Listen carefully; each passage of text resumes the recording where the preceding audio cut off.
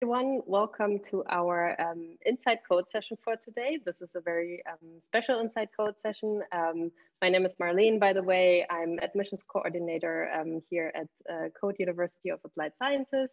And um, today I'm joined by um, some of our international students who study at Code and who want to share a little bit more about their um, experience of um, being a student of code, especially in this kind of crazy uh, year 2020, 2021, where the whole world has um, yeah, changed in a way. And um, yeah, we want to just uh, talk a little bit about um, being an international student um, in Berlin or joining us uh, remotely from somewhere else. And I think this is a good time for um, yeah, my lovely guests to introduce themselves. And um, let's just go ahead and uh, start with, with uh, Filip. Um, where are you from and um, what actually brought you to, to code? I'm very curious about that. Hello, everyone. Uh, I'm Filip. I'm 20 years old. Yeah, still 20. Uh, 20 years old, and I'm originally from Bulgaria. Um, and this is now my second semester at Code. And I guess what originally brought me to Code was, of course, the international aspect of the university and everyone, like everything being so diverse and multicultural. Um, because, yeah, I think it's a very, very nice thing to have. And yeah, of course, also the, the learning concept, I think, was really made for me. And yeah, so far, I really enjoy it. That's it. Awesome. Thank you very much, Filip. And um, yeah, maybe next up, uh, Irina, where are you joining us from and why did you actually join Code? Uh, so good evening, everyone. My name is Irina. I'm originally from Russia and right now I'm finally in Berlin and I'm very happy about it. And originally actually was accepted to code in 2019, but I had to take a year to apply for my visa and la la la. But originally I wanted to join code because of of its learning concept, of course, and because again of the international community, because of the people and how the code just presented itself, because it felt super exciting to be at that place, and I was extremely excited to go there from from the first time I, I submitted my application, which was even in 2018. So. Thank you, Irina. Um, yeah, and Yoana, where are you joining us from, and why why did you apply to Code in the first place? Um, moin, everyone. First, um, yeah, my name is Yoana. I'm 22 years old. Um, I'm actually originally from Bulgaria. I'm right here at the moment. I'm planning to go back to Berlin next month. Actually, can't wait already. Um, I haven't been there since Christmas, but I really miss it. And that was Berlin is one of the reasons that actually brought me to code, uh, along with uh, the sense of community. That's actually one of my favorite things about code. And Berlin, the community, the learning concept, there are so many things that I love about code. Thank yeah. you, Yoana. And um, then we have our guest number four, Samuel. Hi, everyone. Um, my name is Samuel. I'm originally from Nigeria, currently in Nigeria. As you can see, I'm stuck in traffic actually, but then we say remote, so it's awesome to be remote actually. Um, I'm studying software engineering at Code, and I think the interest for me for applying to Code was also the learning concepts. But then, in addition to that, I think it was the broad range of international community that you actually get the opportunity to actually interact with. So it's been exciting and I'm enjoying it, despite the fact that it's been remote due to Corona. But of course, I hope to be in Berlin soonest. And um, it's been awesome. Yeah. Very cool. And this is this is actually a really exciting part of like um, yeah doing these remote events that we can have someone joining us from a, a car in Nigeria. I think that's that's pretty awesome. um, yeah, so you you guys have shared with us um, why you applied to Code, and um, I would be super interested to know if um, your kind of expectations that you had have been met, and if there was anything about studying at code that that surprised you or that you didn't expect when when you yeah when you first applied and when you when you think back to your expectations in the beginning? And um, yeah whoever wants to start maybe just unmute yourself and go ahead.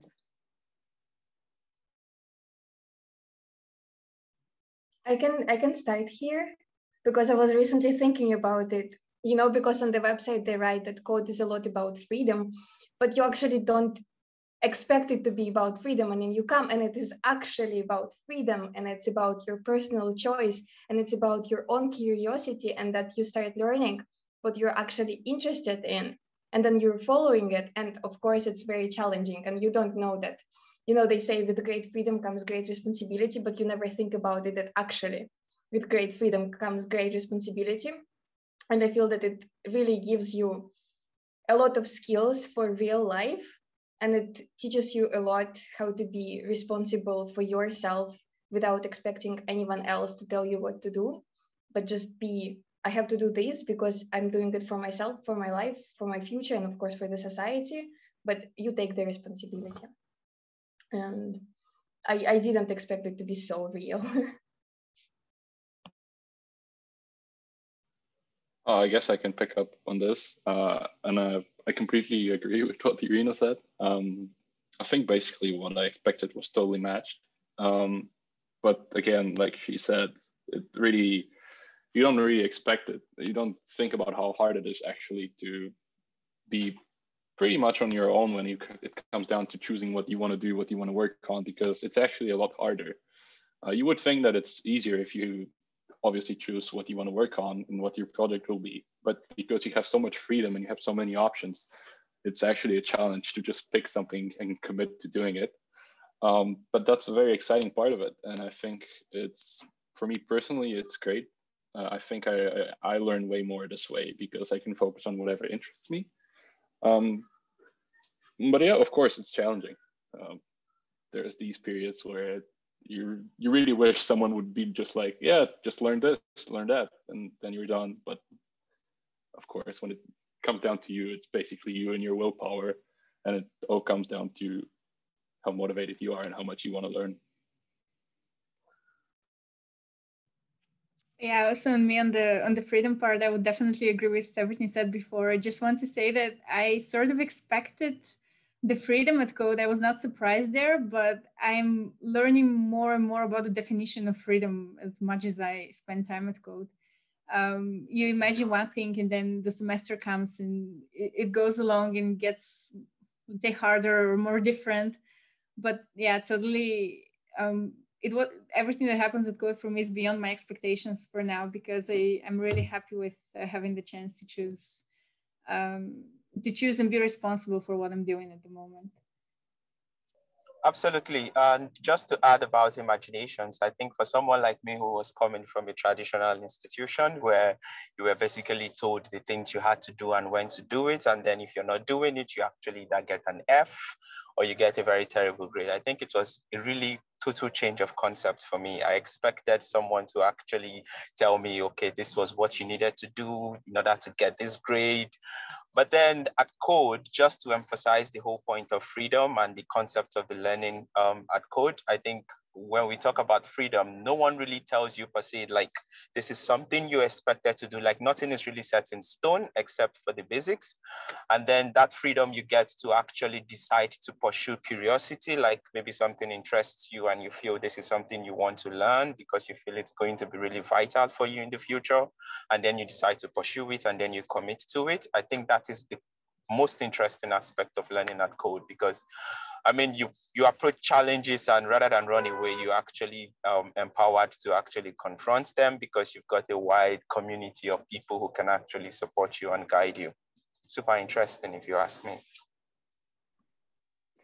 Awesome. Oh, thank, thank if, you. All. If I might just finish about the, the community super quick, I'm also really happy about the community here. Um, from uh, maybe we had one expectations before joining club but after that we were super I, I think that everybody had some expectations but we were super amazed even after that like some small things even having a beer with the founders and things like this. Apart from all of the support you get we we're really a community and i love this about code.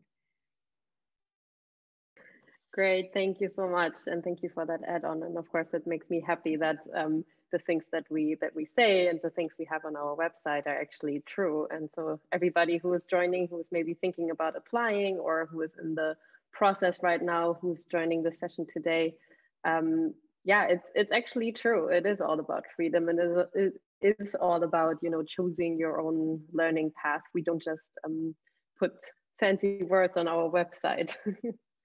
Um, I think you you all kind of touched on it a little bit. Um, I would also like to to ask you all about um, the biggest challenge that um, you had to face so far um, when it comes to you know your journey to code. Um, uh, Irina, you mentioned that that you just moved to Berlin. Um, how was that process for you? Maybe also getting getting a visa, finding a place to live.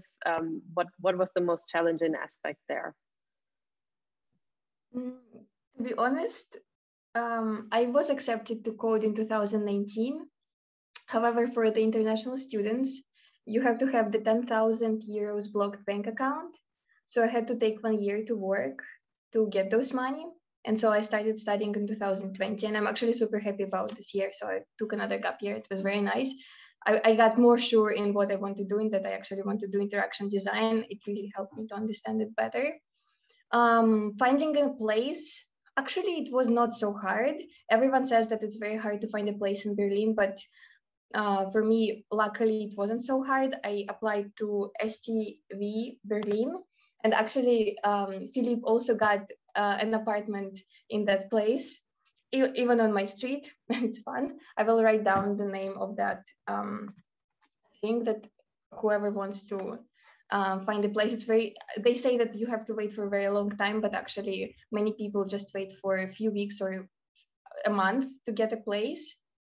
Um, to be honest, I didn't really have so many challenges coming to Berlin. It was just normal, I guess. The when you move to another country from another country, you of course have certain things that are not so easy, but overall it's very much manageable and it's nice and with with code it's nice because even though you're changing the country you can still adjust your schedule yourself by your according to what's happening in your life. And i actually found it very nice. Yeah.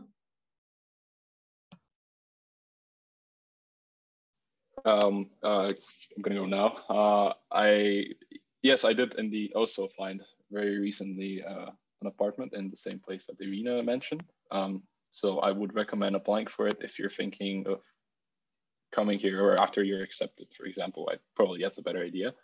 Um, but for me personally, I think the two biggest challenges um, with moving was for the first time living on my own and being a grown up for once, and also definitely time management for me because I never lived alone before I moved to Berlin, um, and it was a very interesting experience. Uh, it was very stressful. You, have, had to get used to it, uh, but of course, it was very cool as well because you feel a lot more independent, and after a month or two, you feel completely fine.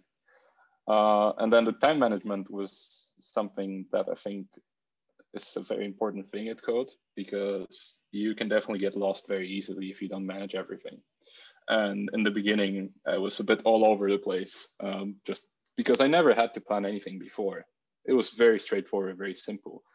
And I just went along with the flow. But then I realized that, okay, I need to structure my day. I need to put time aside to go to the supermarket and everything. So it's definitely a, a really valuable skill that you learn along the journey. And yeah, I'm still not managing fully, of course, but yeah, it's great. I can tell you a secret. Uh, you you never manage to fully grow up. It's even. I, I think I've already understood that myself. Honestly, I, I fully embrace that fact. Even when you have approached your your thirties, yeah. you're not you're not done. yeah, yeah, definitely. And with knowing myself, will never happen. Uh, when yeah, and another thing about the, the finding accommodation. Um, it was definitely a very big challenge for me. Uh, I'm really glad Irina managed to do it so easily, but I struggled quite a bit. And I have a lot of friends that also struggled quite a bit. Uh, and even I actually came to to code without having a, an apartment yet. Uh, I basically stayed in a friend's apartment, which was in Potsdam, which if any of you know where it is, it's like an hour and a half away from campus. Um, and I stayed there for about a month or two because I didn't have a place. And after that, I found one. Um, so yeah, there's there's always going to be it's always always going to be very dynamic. You're probably not going to find something that you're going to stay there for three years, right? It's a bit unrealistic. So you're always changing it up, and yeah, it's pretty dynamic.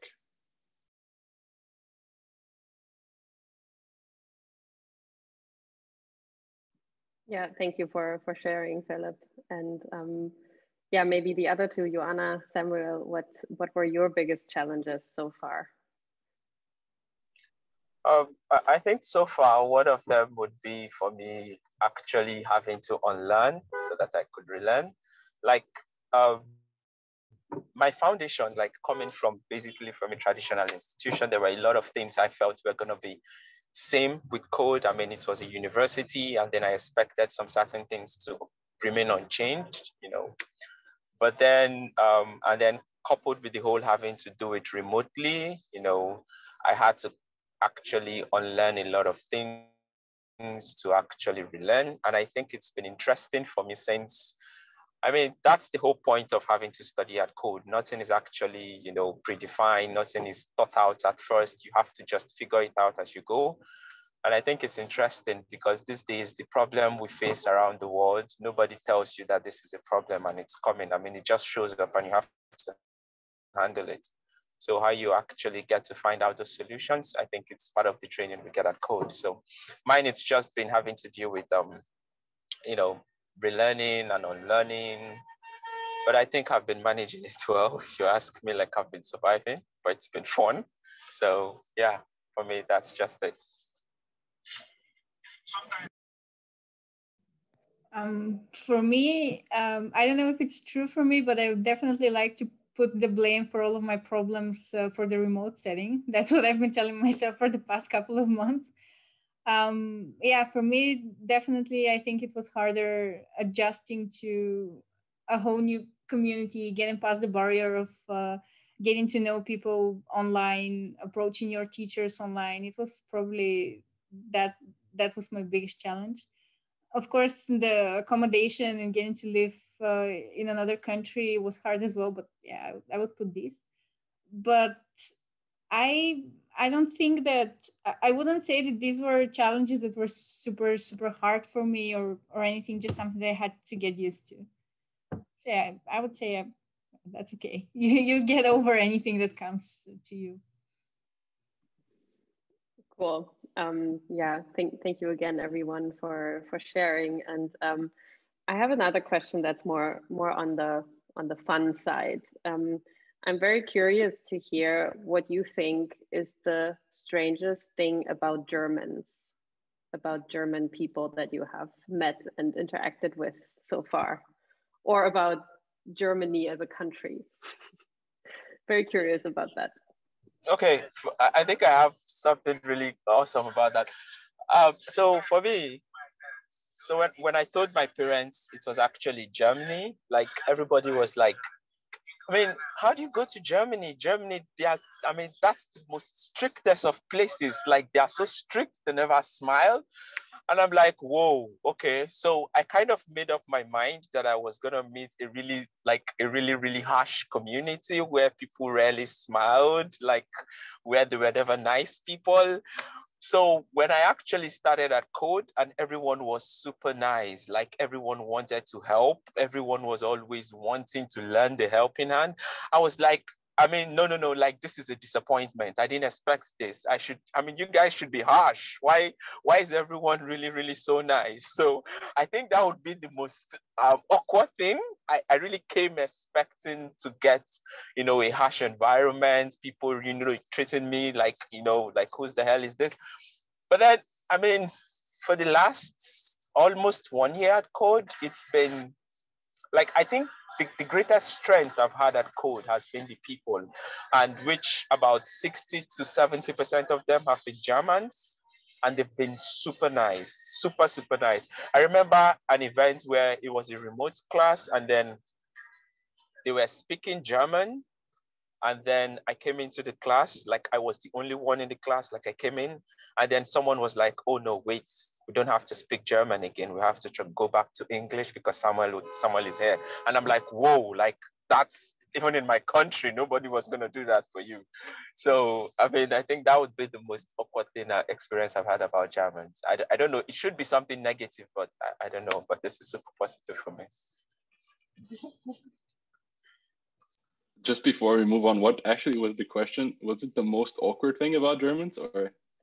Maybe the like weirdest thing or strangest thing, but it can also be okay. positive. That's totally fine. uh, I don't have anything on that. Um, yeah, I need to think. Uh, give me a second. I have there's way too many things to, to say. Uh, for me, definitely shops being closed on Sunday. Uh, that I mean, of course, there's Spätis in Berlin. That's not so bad there, but that's something that I really don't like there. And I was surprised how, um, in, from what I have seen, Germans don't really celebrate, don't have really really big national celebrations or anything. That was a bit weird for me. yeah, the the shop thing is definitely true. Um, that's very weird. So plus one on that. Also, um, yeah, if you if you don't feel good about your um about how funny you are, just wait until you come to Germany because German humor is so dry that you will feel very funny after it. when you're surrounded by Germans. That's a joke, by the way. That's a joke. I hope none of the Germans in the chat get offended.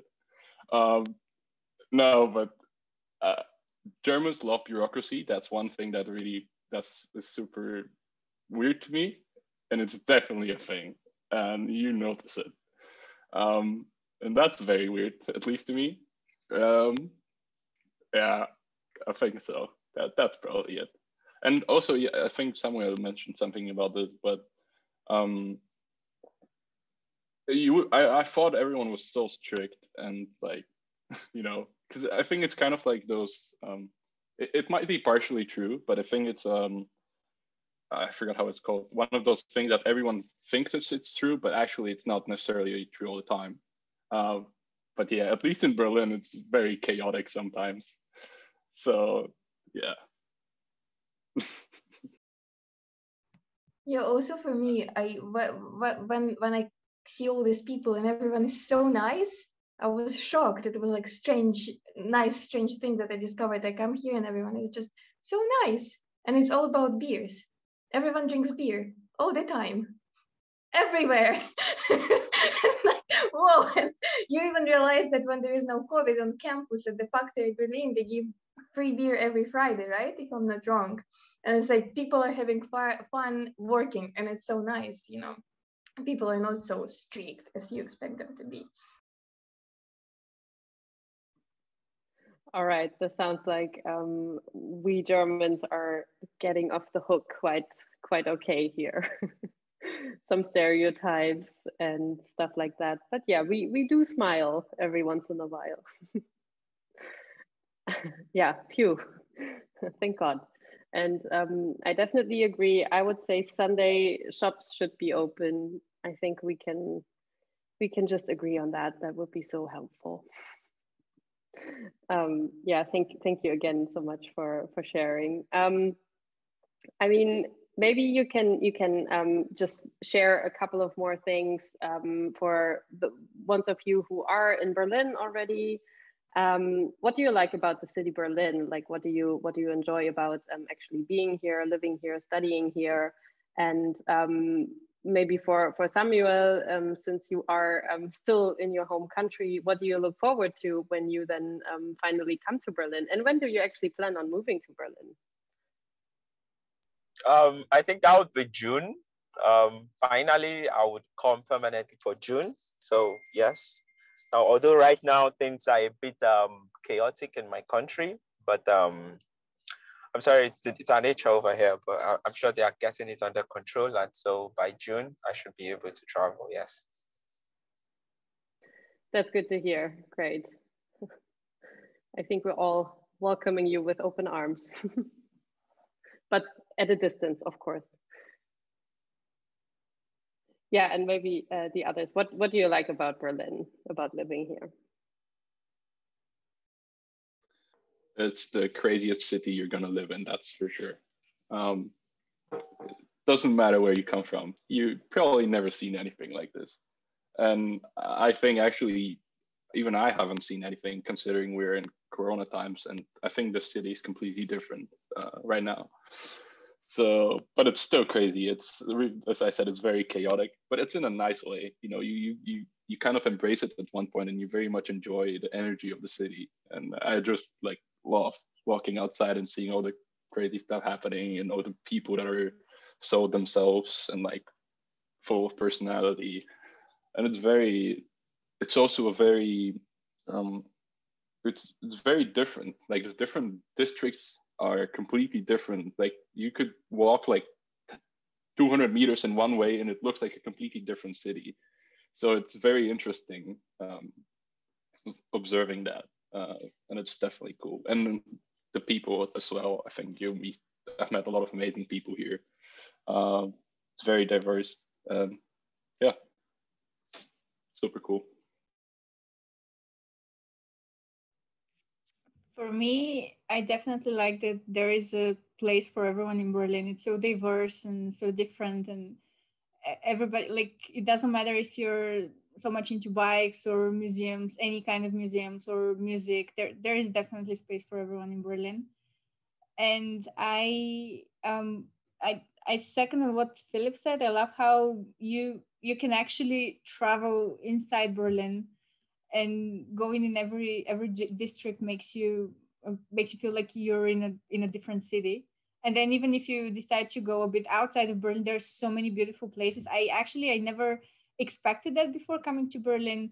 Uh, i'm so sorry myself but before that i imagined like berlin is in it's so much history and so different inside like something happening and outside of it nothing happens like a big field or anything and then you find out about this uh, beautiful place that I just got out of my mind, but it's like the Venice of uh, of Brandenburg. And then there is uh, even if you go to Potsdam, that's so close and so beautiful, and it's definitely an area that you can explore. And I'm I, I'm actually I was waiting so so impatiently about the, the spring and summer to have the chance to explore it more. Um, yeah, that that's from me.